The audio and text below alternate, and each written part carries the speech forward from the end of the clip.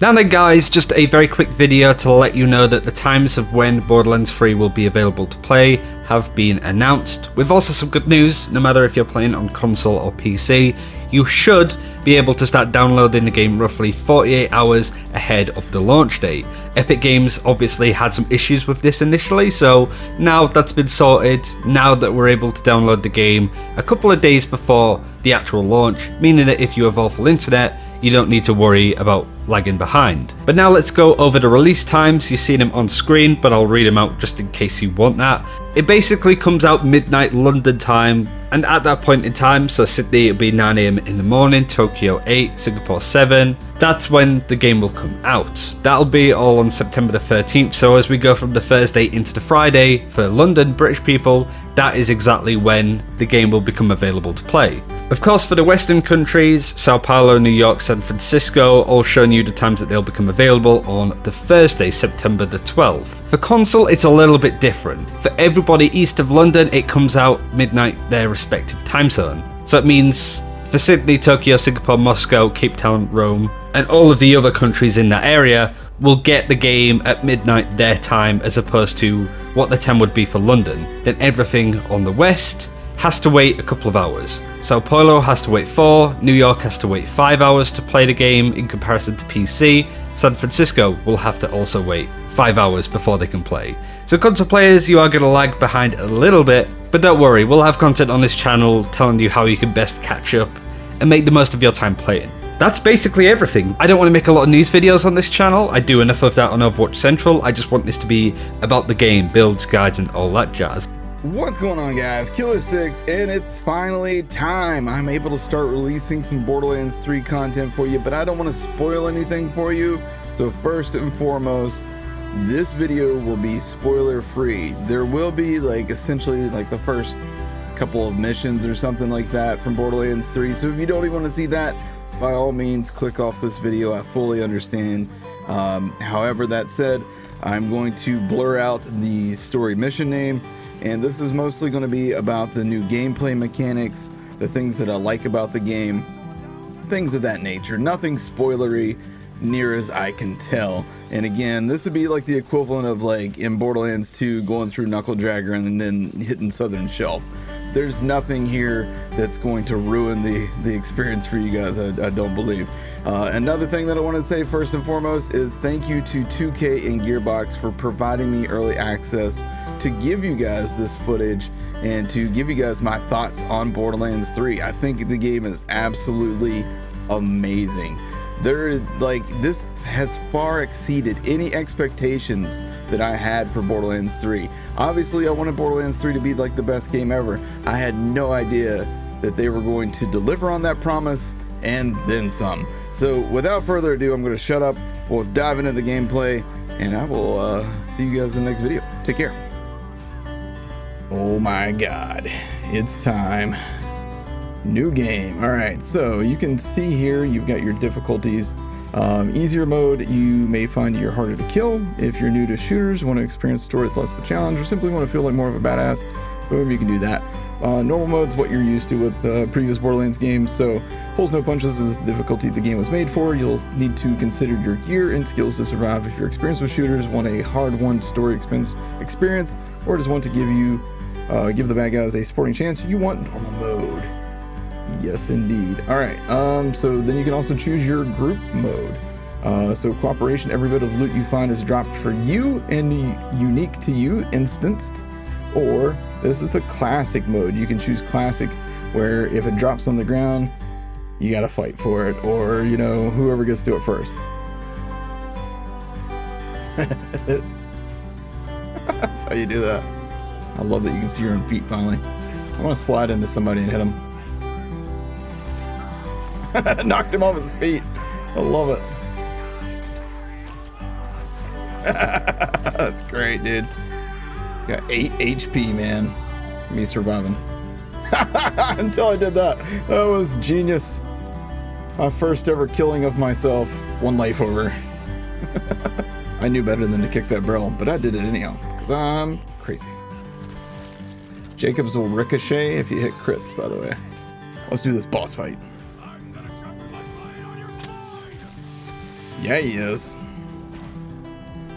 Brought a knife and a screwdriver to a gunfight. oh, alright. I failed.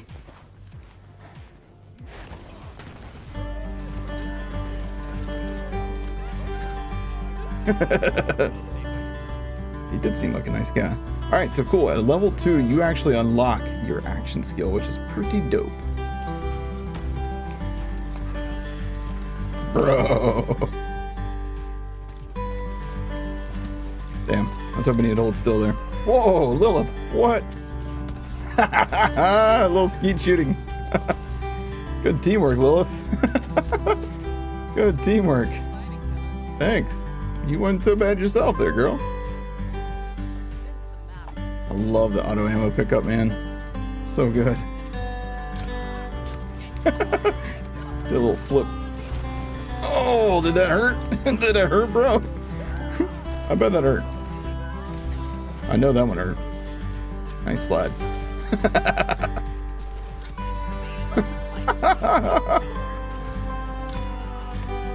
Dude, if you want to feel like a badass, this is the game. this is the game.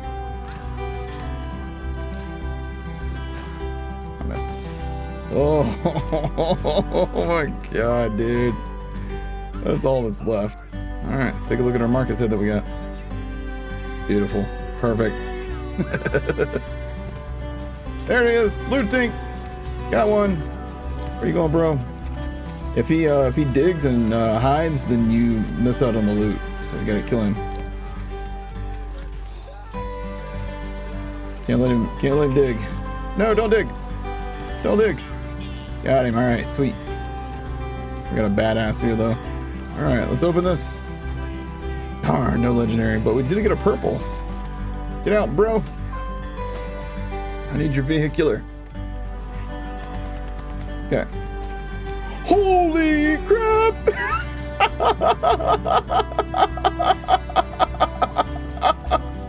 oh my god!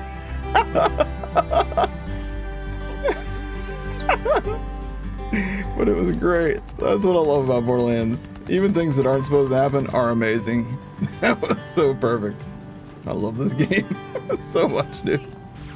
Little Tinks got wrecked. Woo.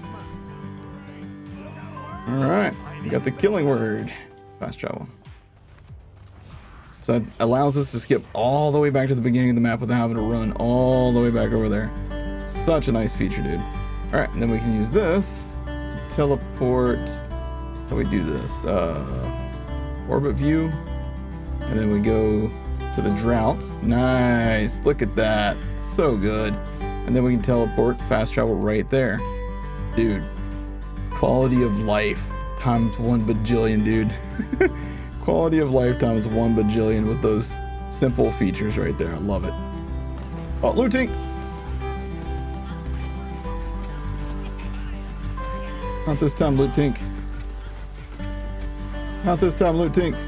On reload. There we go. Got him. Nice. All right, Loot Tink, what do you got for me, man? Oh, we got the room decoration or something there too. Ooh, new shield. Got a uh, COV bat room decoration. Nice. So much sound variety in all the weapons. thought he was hidden. Oh, now this is locked. What the hell? Oh, wait, no, he just now respawned. Oh, cool. All right, we got him. Oh. I knew that was going to happen. Level 8, yes. All right, we farmed him twice. Both times we've got his uh, unique, but we haven't got a legendary from him yet. Oh. Interesting. I spawned here. Cool, we spawned. Oh my goodness, this is such an easy farm now. All right, so let's recap. We can now spawn right at a boss. Oh, we got a legendary. Yes, what do we got? Mind Killer. Oh crap, my first legendary of Borderlands 3. You guys got to experience it. awesome, man. What is this thing? It looked like it was a shotgun. I believe it was a shotgun. Yep. Uh, I must not fear. Fear is the mind killer. All right. Hey, that's a that's a quote from Dune. I remember that. this thing looks pretty cool. It looks like uh, like the front of it has like a 80s like retro kind of thing going on, and like a Black Widow symbol on the side here. This thing looks pretty nice, man. Looks pretty nice. So, uh, wonder what it does. Though. It's a Maliwan, so I know you have to like charge it up to shoot it. So I wonder if like the longer you charge, the more damage it does. I don't know. It's kind of interesting. Um, I'm not great with Maliwans yet, but we'll, you know, we'll dive into it and figure it out. All right, here we go. Mind Killer versus the guy that dropped the Mind Killer. All right, you know, it, it, it's pretty good damage. Oh wow. yeah, it's pretty, it's pretty good damage. It just blew a Tink's head off. No big deal. Come on, man. Uh, I guess it helps if I don't shoot the shield. So I'm just trying like little short bursts. Um, maybe we can try like a longer hold. I don't think it does any more damage the longer you hold it. I don't know. I'll have to do some like testing on it though to, to really see. Oh man, that is, guys, like that's really satisfying. Making something just like turning things into pink mist. Oh, it's pretty, pretty nice. pretty nice. Just like going full gore, man. So this like, you know, this takes the gore up like 10 notches from Borderlands 2 as well. like that was one of uh, the things that everybody always said is that they wanted more gore like in Borderlands 1. I always thought that the gore in Borderlands 2 was fine, but now that I see this, I'm like, oh yeah, you know what? This is much better. Good call. You guys were right. Yeah, so holding that down longer, I don't think that does any more damage. I'll have to, like I said, I'll have to do some more extensive testing on this thing because I I can't really tell without you know actually having a stationary target and you know what I'm saying. You you, you need like a firing range dummy or something. Oh, that's cool, man. You can like set the make the puddle go all electric. that's pretty dope. That's pretty dope. Like said, like making the entire puddle be shocking. yeah, get you some of this mind killer. And this thing's gonna carry me for a few levels, I think. this thing's actually pretty good.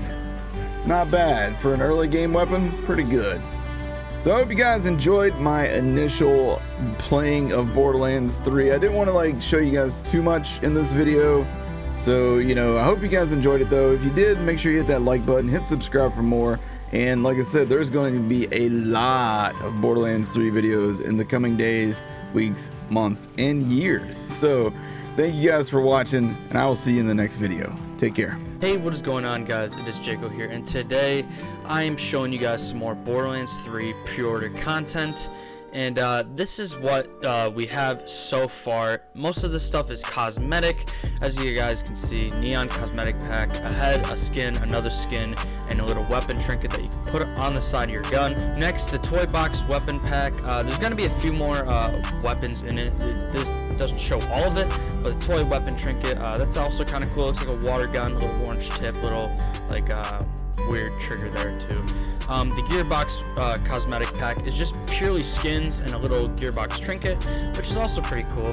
Um, and then the Retro cosmetic pack, like I said, just purely cosmetic for most of these. Uh, weapon skin, a hunter skin, an echo device skin, which is right here to the left, and a Vault Hunter head, which I'll show you guys like better in-depth um, pictures of what these all exactly are and everything in them. And the season pass will include a Butt Stallion pack, which is just the skins. I hope that um, you can put all the skins on every single one of the guns. And then DLC 1, 2, 3, and 4. And uh, to get a closer look at that, we can go over here and I can show you guys at the retro skin pack what they will look like on the guns, sniper rifle. Um, I don't know exactly what this is. Could be a grenade launcher, rocket launcher, AR or something. I'm not exactly sure. This looks like some sort of laser SMG or something, and then a handgun of some sort. And here are the Vault Hunter skins and heads, and the Echo device a little bit bigger there. And this is the Retro Cosmetic Pack, and let's back out of that. And now we can check out the Neon um, pack right here. This will be in the deluxe and super deluxe edition, so you won't be able to get it in the regular pre-order $60 edition, but you can get it in the 80 and $100 edition, which I'm probably gonna get the $100 edition because I love Borderlands so much. I know it'll be well worth it. Four DLCs and all these, all this extra crap is really cool, to be honest. And weapon trinket we already saw the Echo device skin. I don't think we saw that in the first picture, but uh, here it is. Um, looks pretty cool. Nothing too special except for the little neon skull. And then, of course, the Vault Hunters uh, heads and skins. Looks pretty cool as well. Can't wait to like uh, get like use either a head and then use another little skin at the bottom. That'd be pretty cool to uh, test out and see what looks the coolest. Uh, the Gearbox cosmetic pack is nothing really special. It's just kind of like a super sleek uh, silver kind of thing, a little bit of green and like gold on the side. and then the Gearbox weapon trinket, which we already saw and then we're gonna scroll down. This is probably one of my favorite things so far, the toy weapons with unique effects. These all look really cool. Um, to be honest, I hope you get it at like um, level 50, which is going to be the level cap, so you can actually get some use out of these things. And then toy grenade mod, and it's not even pictured, so yeah, these will be really friggin' cool. I hopefully, hopefully they're really cool and really good. And uh, yeah, here's also the weapon trinket. I hope these are actually going to be useful, to be honest, and hopefully you get it like level 50. And of course, if you don't already know, become a Borderlands VIP, and uh, you can get some rewards. I just got this desktop um, mural art, super cool, only for 500 points. And there's a bunch of other stuff that you can get here, ton of crap. Let me just uh, pull up my profile real quick, show you guys what I've gotten so far. So I've gotten a free B from uh, one of the VIP spin wheels and some other guns and stuff. And uh, if you do want to uh, get a quick link to this, help me out and help you guys out as well. I can earn 500 points if you click the link in the description. I'll put this link in the description. So hopefully 25 of you guys will be able to click on it and give me some extra points so I can make content on Borderlands 3 a little bit easier um, come when the game comes out. And uh, another thing is, they did just release this little video right here um, a few minutes ago. There's uh, Sanctuary 3 up there in the corner. I think this is Steve it. And then boom, he crashes into that. I'm not really sure what that was all about. Just right to the danger zone. And then uh, I guess you could say his goose is cooked. Um, not really sure what that means. But uh, yeah, that is pretty much it for the video today, guys. Hopefully you guys enjoyed if you guys are excited and um, can't wait for these packs and all this stuff, and you want to pre-order this, go right ahead. You can pre-order on the website or pre-order on PlayStation, Xbox, or GameStop or wherever. Um, uh, yeah, so hopefully you guys did enjoy. Be sure to drop a like, subscribe. If you guys are excited for Borderlands 3, please drop a like, subscribe, and I'll see you guys in the next one. Peace.